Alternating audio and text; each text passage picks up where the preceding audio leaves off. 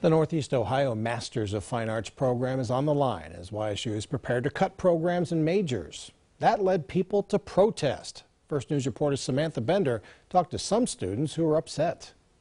Students and faculty gathered outside of DeBartolo Hall at YSU, holding up signs that read, Youngstown values the humanities and stop the cuts in protest of program cuts.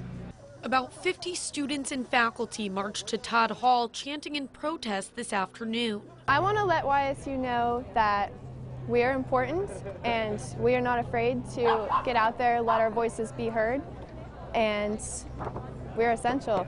The Northeast Ohio Masters in Fine Arts program is one of 26 programs that will not accept any new students into its program. Students who are in the program can still graduate, but they say that's not good enough. It's called academia, and they're cutting academics.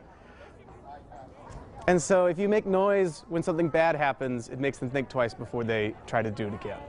The program is the only consortial MFA program sharing faculty and students between four campuses. Second year student Cassandra Lawton delivered a signed petition of over 1,000 signatures to President Jim Tressel's office to request a formal meeting on the NEO MFA program.